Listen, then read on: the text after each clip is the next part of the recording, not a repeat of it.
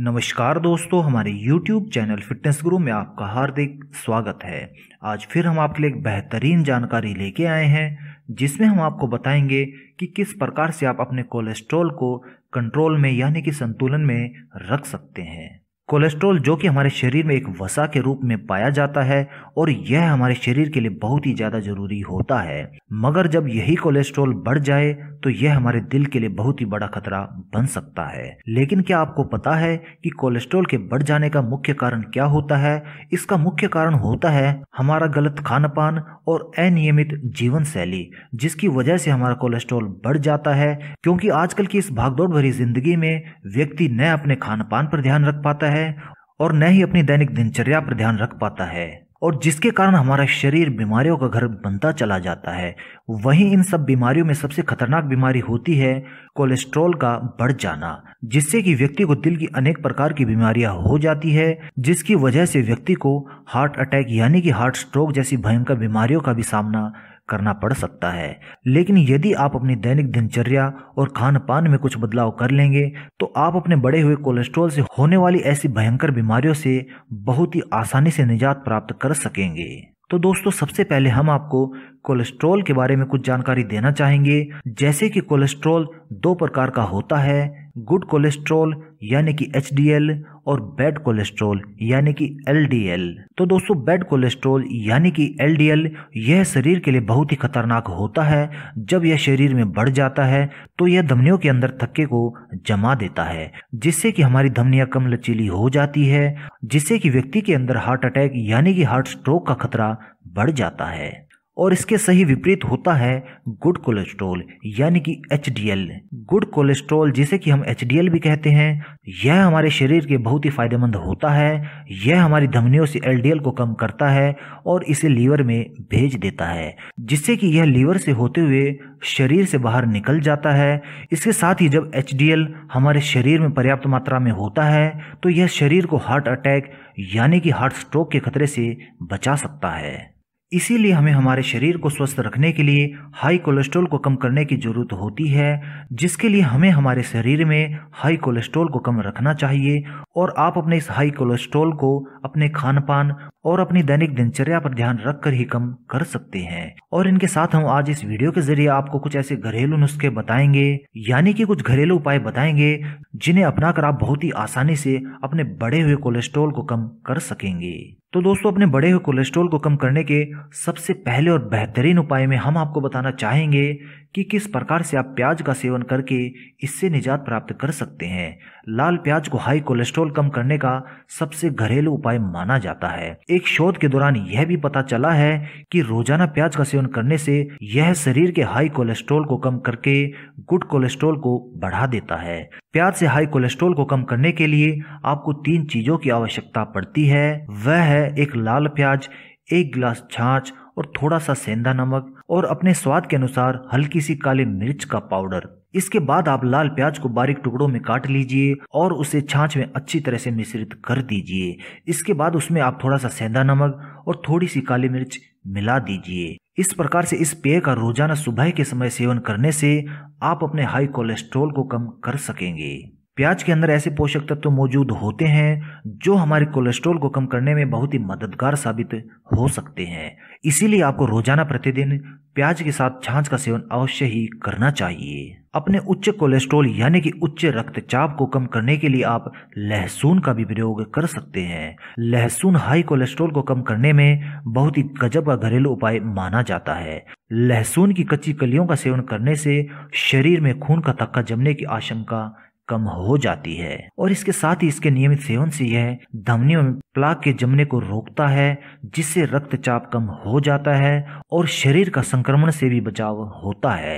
इसीलिए high cholesterol को कम करने के लिए आपको रोज़ाना सुबह खाली पेट लहसुन की चार से पाँच कलियों का सेवन अवश्य ही करना चाहिए। तो दोस्तों, इस प्रकार से आप लहसुन का सेवन करके उच्च रक्तचाप से निजात प्राप्त कर सकते हैं, यानी कि आप हाई कोलेस्ट्रोल से संबंधित सभी बीमारियों से बच सकते हैं। हाई कोलेस्ट्रोल को कम करने के लिए आप धनिया का भी प्रयोग कर सकते हैं। धनिया पाउडर जिसका प्रयोग हम खाना बनाने के लिए करते हैं, मगर हम इसका प्रयोग अपने हाई कोलेस्ट्रोल को कम करने के लिए भी कर सकते हैं। धनिया पाउडर हाई कोलेस्ट्रॉल को कम करने के साथ साथ शरीर को मधुमेह जैसे रोगों से भी बचा सकता है। धनिया के पाउडर का इस्तेमाल करने के लिए हमें एक गिलास पानी और दो चम्मच धनिया पाउडर का इस्तेमाल करना होता है। इस उपाय के दौरान आपको एक गिलास पानी में दो चम्मच धनिया पाउडर मिला लेना है और इस पानी को अच्छी तरह से उबाल लेना है। जब यह पानी अच्छी तरह से गर्म हो जाए, यानी कि एक से दो मिनट तक अच्छी तरह से उबल जाए तो आप इसे नीचे उतार लीजिए और इसके बाद इस पानी को ठंडा होने दीजिए और इसे छानकर आप एक अलग बर्तन में डाल लीजिए। इस तरह से तैयार किया हुआ यह पानी जिसके अंदर आपने धनिया का पाउडर मिलाया है, उसे आप दिन में दो बार अवश्य सेवन करें। ऐसा रोज़ाना करने से आपको कुछ ही दिनों में फ़र्क नज़र आने लगेगा। अपने हाई कोलेस्ट्रॉल को कम करने के लिए आप एवोकाडो का भी प्रयोग कर सकते हैं। एवोकाडो त्वचा के साथ साथ दिल के लिए भी बहुत ही फ़ायदेमंद साबित हो सकता है।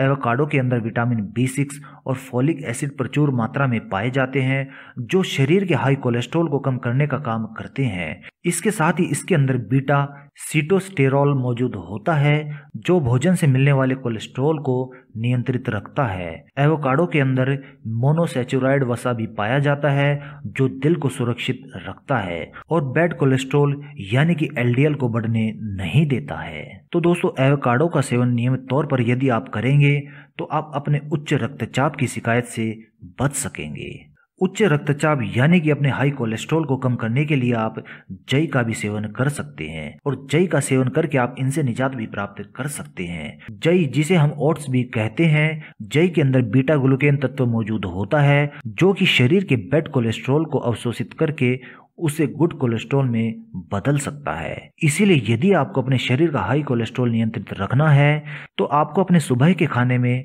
जई, यानी कि ओट्स का सेवन करना शुरू कर देना चाहिए। और इस तरह से यदि आप सुबह के समय जई का सेवन करते हैं तो आप अपने उच्च रक्तचाप की समस्या से निजात प्राप्त कर सकते हैं। इन सभी घरेलू उपायों के साथ साथ आपको धूम्रपान का सेवन भी बंद कर देना चाहिए, क्योंकि सिगरेट के अंदर पाए जाने वाला एक्रोलिन हमारे शरीर के गुड कोलेस्ट्रॉल यानी कि एचडीएल जो कि हमारे शरीर में जमा बैड कोलेस्ट्रॉल को लीवर तक पहुंचाता है, उसे लीवर तक पहुँचाने में बाधा डालता है, जिससे शरीर में हाई कोलेस्ट्रॉल की परेशानी होती है।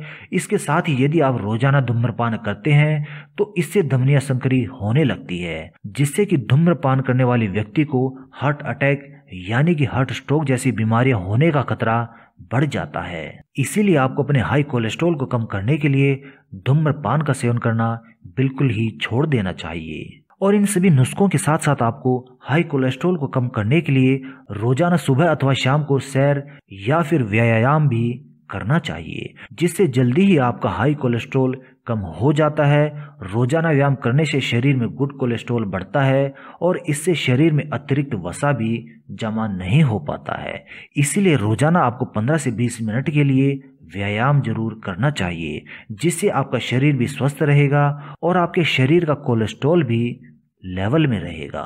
तो दोस्तों, हमारी ये जानकारी हाई कोलेस्ट्रॉल को कम करने की यदि आपको पसंद आई हो तो नीचे कमेंट बॉक्स में आप कमेंट अवश्य दें। और यदि इन सब के बाद भी आपका कोलेस्ट्रॉल संतुलित नहीं हो पाता है तो आपको अपनी दैनिक दिनचर्या में बदलाव और संतुलित आहार का सेवन करने की बहुत ज़्यादा ज़रूरत हो जाती है और इसके साथ ही आपको किसी अच्छे डॉक्टर से परामर्श अवश्य ही ले लेना चाहिए। तो दोस्तों, हमारी ये जानकारी हाई कोलेस्ट्रॉल के बारे में, यदि आपको पसंद आई हो तो कृपया इसे लाइक अवश्य करें और इसे अपने मित्रों तक पहुँचाने के लिए कृपया इसे शेयर भी करें।